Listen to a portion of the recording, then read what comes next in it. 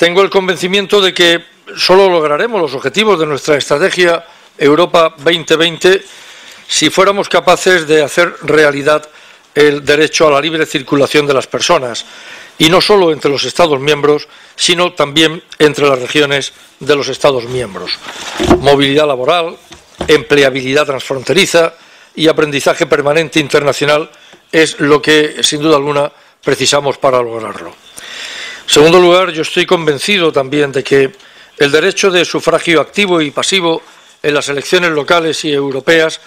constituyen un elemento esencial para el desarrollo de la ciudadanía europea, independientemente del Estado miembro del que procedamos o la lengua que hablemos. Además, el pasaporte europeo que lanzamos hoy se distribuirá ampliamente durante el próximo año europeo de los ciudadanos 2013. Es una buena ilustración de la firme creencia de la Unión en la unidad dentro de la diversidad. Sirve para que conozcamos los principales datos del espacio común europeo en el que vivimos, para que seamos conscientes de las diferencias enriquecedoras existentes entre unos Estados miembros y otros, de la diversidad existente dentro de ellos, también para que conozcamos una serie de parámetros sociales y económicos importantes y podamos recordar asimismo los derechos que compartimos todos los ciudadanos de la Unión Europea.